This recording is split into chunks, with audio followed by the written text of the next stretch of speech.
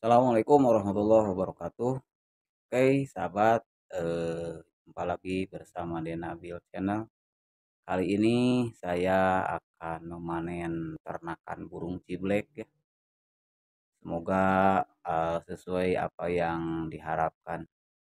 Kemarin-kemarin sih eh, sempat nelor tiga ya, angrem tiga, cuman yang satunya tidak menetas menetas dua dan yang satunya terpantau dibuang ya. Jadi kita pantau apa penyebab anakan dibuang dan mudah-mudahan yang satunya eh, sehat ya. Untuk itu lanjut ke kandang. Jadi langkah pertama untuk memanen anakan ya kita siapin dulu seperti ini ya buat naruh cindilan nanti. Ini eh, serat kelapa atau bisa menggunakan serat nanas atau kalau tidak ada memakai injuk ya. Ini di wadah pakai besek ya buat naruh anak-anaknya terus langkah yang kedua kita siapin ini ya jangkrik ya.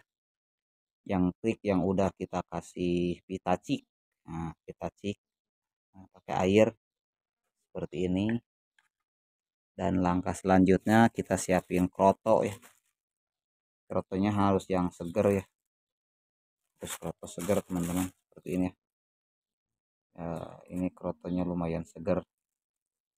Jadi lanjut untuk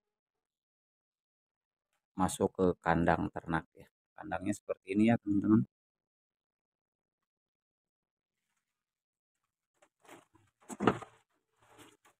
Nah seperti ya. Ini indukannya kipas ya nah, dia merasa terancam anakannya cipas ya. Itu yang jantannya ngalung tuh. Nah ini yang jantan yang bunyi dan yang betinanya ke bawah. Nah itu yang di bawah betina. Ini mudah-mudahan eh, ke depannya bisa lebih lancar produksinya ya. Ini salah satu anakannya kemarin pernah saya jual ke daerah Jawa Tengah dan ya. inilah burungnya ya yang pernah terbang ke Jawa Tengah ya. mainan asal jadi rumah. Lanjut untuk pengambilan anakan ya. Nah di sana ada anakannya teman-teman ya. Nah teman-teman bisa lihat ada anakannya. Kita kurang jelas ya kita masuk aja ke kandangnya ya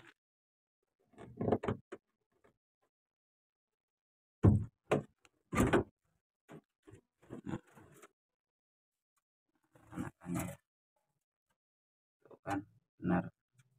Satunya nggak netes ya. Netesnya dua yang satunya pernah terpantau dibuang. Jadi untuk kali ini cuma satu saja yang bisa kita panen.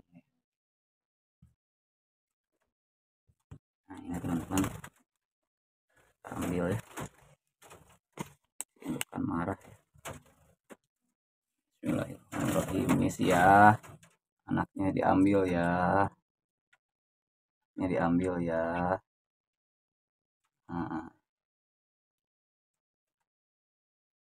wah udah gede nih teman-teman. Pegangannya udah keras. Nah. gede ya teman-teman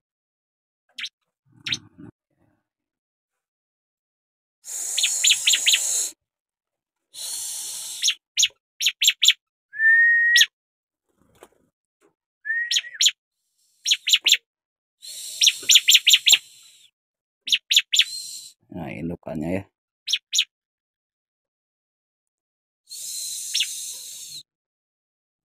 jadi teman-teman buat teman-teman yang mau belajar ternak si black ya khususnya buat pemula ya jadi kita jangan cukup eh, ngasih satu tempat sarang ya.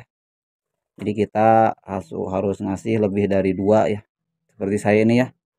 Ini saya kasih satu dua tiga empat lima dan dikasih enam sarang. Mula khususnya jangan ngasih cukup dengan satu sarang ya. Ini untuk pemasangan ringnya ya. Ini ada ring saya pribadi ya.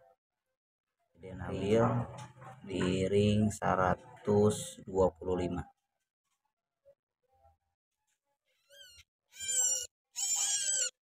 mudah-mudahan jantan ya jantan sih. Lihat dari kukunya ya. Lihat dari kuku hitam dari betis juga panjang kepala juga cepak. Jadi inilah salah satu ciri eh, bahwa ini adalah jantan.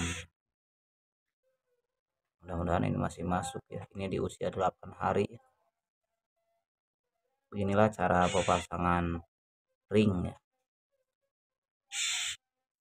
agak susah ini udah agak gede ya teman-teman.